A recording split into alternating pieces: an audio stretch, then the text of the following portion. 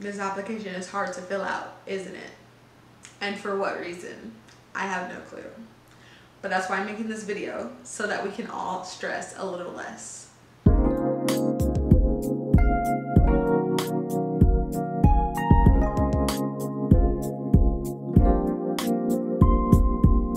Hello beautiful people, welcome back to my channel. I'm Jasmine if you didn't know.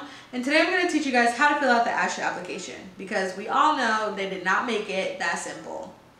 So first I'm going to start off by just telling you what you need in order to be successful in filling out this application. First you're going to need your demographic information. Then you're going to need your degree and program information.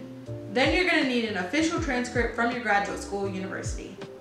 Next, you're gonna need your weeks and hours completed during your CF, your CF supervisor report, your praxis score, and lastly, of course, you're gonna need some money.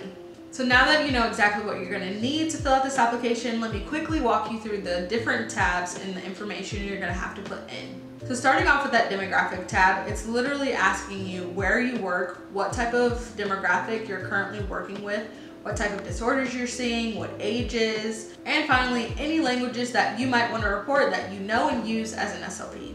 So next, the degree section is literally where you're just going to input the school that you went to, the degree you received, and when you received it.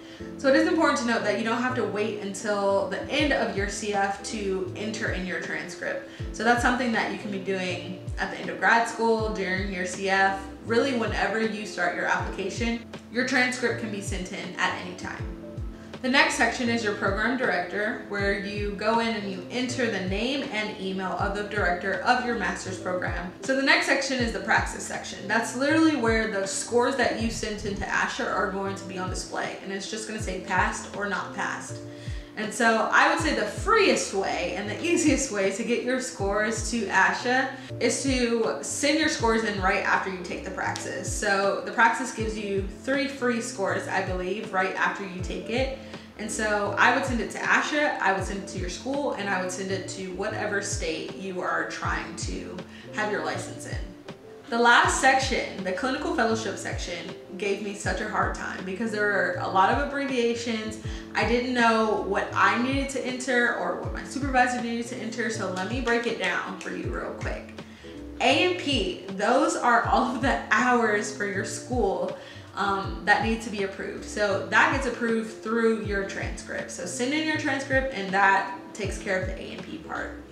The weeks and hours that you have completed, those need to be approved both through ASHA and through your CF supervisor. So there's gonna be a section that says find your clinical supervisor. You can find them either through their ASHA number or through their first and last name and where they're currently practicing. So this is a step that you can't do until you're finished with your CF. That was something that I was really confused about because I thought you could submit the ASHA application and be done with it before your CF was over, but you have to have that very important step once your CF is complete because it won't let you put the date of completion in if you're not finished with your CF. So once you're finished, find your um, CF supervisor, then it will send a series of questions and things over to your CF supervisor. They will fill out the questions, boom, boom, boom, yes, yes, yes. They'll check all the boxes, send it back to ASHA, and then now you're just waiting for ASHA to complete their part, which can take anywhere from four to six weeks. Okay guys, so now that you know what you need and what you have to do for each part of the application, I did want to go over the application cost. So there's a lot of different prices to name, so I have my handy dandy notebook to make sure that I tell you the right ones. So if you have been in NSSLHA for at least two years and you are looking to get the membership and your C's for ASHA upon your first application, that price is gonna be $286. So if you are a new grad like me and you're not a part of NSSLHA, but you also want the membership and your C's, that's gonna be a pretty penny of $461. Now, if you're not in NSSLHA, you're not a new grad, but you still want your C's and you do want your membership as well, that's gonna be $511. Now, if you're like, bump membership, I don't wanna be a member, you just want your C's, that's gonna cost $455. Guys, I really hope this video cleared up any confusion because I know that I had a hard time filling this application out with my supervisor and we called ASHA and they low-key had an attitude that we were asking questions. So I just decided to put all of this in one video so that it is very simple for you to do. If you found this video helpful, don't forget to give me a thumbs up. If you guys have any additional questions or you wanna help each other, feel free to do so down in the comments below. Don't forget to subscribe to my channel for more amazing content and until my next video, peace.